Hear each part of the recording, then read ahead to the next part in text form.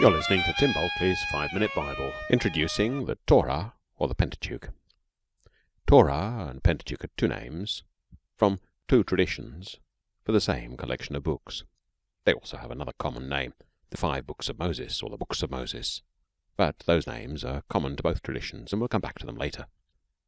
The Jewish name Torah, the word that means instruction, teaching, or law, lays focus on the role of these books since Judaism became uh, so centered on mitzvot, rules, the meaning of law has tended to predominate. But probably in ancient times, the meaning instruction or teaching was the, the one that was uppermost in people's minds. The Greek name, Pentateuch, simply means five books, the Pentateuchos.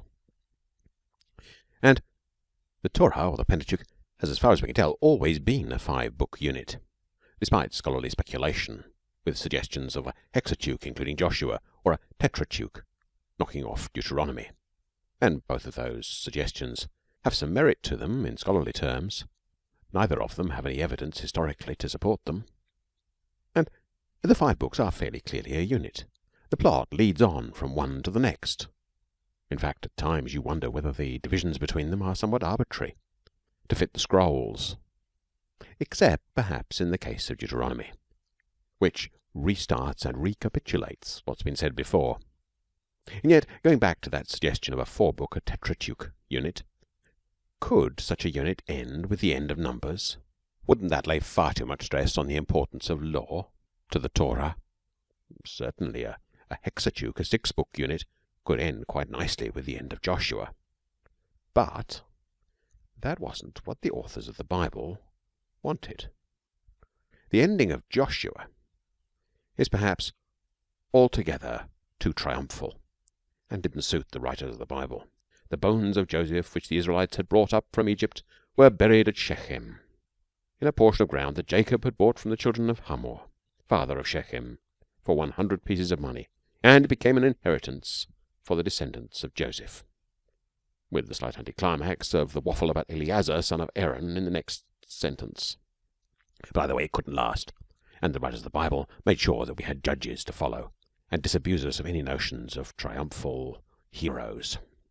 Now, the obvious unit is the Pentateuch, which ends with the death of Moses. This underlines both how central Moses is to this work and, as David Clines noticed many decades ago now, how the promises to the patriarchs, though on the way to fulfilment, are still at the end of the Pentateuch, not yet and two, ending with a recapitulation of the law, stresses also its importance over against many Christianizing readings that try to minimize the significance of law. So, what is the Torah or the Pentateuch? I wonder if the best uh, starting point for thinking about that isn't the Maori concept of whakapapa, the sort of genealogy that tells you who you are by telling you where you came from. Certainly, the frame and much of the contents of the Torah is narrative. It's a story that begins with creation and ends with the death of Moses on the verge of Jordan. And in between, we hear about ancestors, about calling, about promise and fulfillment. We hear of a broken world of oppression and of liberation.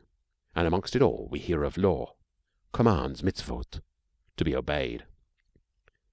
And in asking what the Torah is, we Christians should certainly not too quickly run past the law. Rules to live by, which generate habits of holiness, to use Conrad Gempf's rather useful phrase, are really significant in defining a people. Compare again Maori culture with its concepts of tapu and noa, and perhaps you get a glimpse of the significance and importance of all of those lists of clean and unclean animals in Leviticus and the like. And that's what the Pentateuch is. It's a five book unit which, like Whakapapa, tells us who we are and where we came from, and which tells us the rules which God's people obeyed in order to be and to become a holy people, a people set apart for God Almighty. Christians have never quite worked out what to do with the Torah, but Jesus was quite clear. Not one word, not one letter, not one stroke of a pen will pass away. What we do with that is a really interesting theological puzzle for 21st century Christians. But then Jesus liked leaving us with puzzles to think about. Bye for now.